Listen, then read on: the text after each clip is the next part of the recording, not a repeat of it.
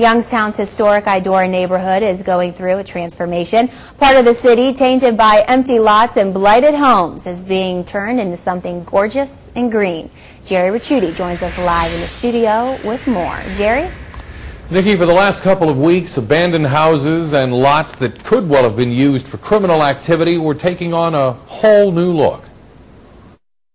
For years, this is how parts of Youngstown's Idora neighborhood looked. Dilapidated vacant houses and empty lots. This is how it looks now, thanks to a project called Lots of Green that's been in the planning stages for almost two years now our organization was launched in October, that we can really start the, the actual hard physical improvement in earnest. The effort is being led by the Youngstown Neighborhood Development Corporation. It covers a 17-block area and includes deconstruction and recycling of vacant homes and development of green spaces for the Mill Creek Metro Parks as well as a number of community gardens. Everything from planting of you know, gardens, food, vegetables, to uh, fruits, various types of fruits, various types of native plantings.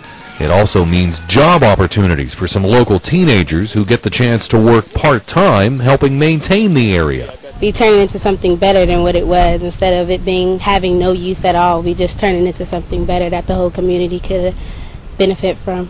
And as this transformation literally blossoms, neighborhood pride begins growing as well. And other people I notice now taking better care of their yards and so forth like that, you know, so it's like a domino effect. Everybody's trying to do better. Project is being funded by a combination of federal grants and local foundation money, and while organizers hope the idea can spread to other sides of town, it may already be one of the largest of its kind in the country. The other other places have done this in a more scattershot, scattered site kind of formation. We're doing it in a targeted, strategically targeted investment.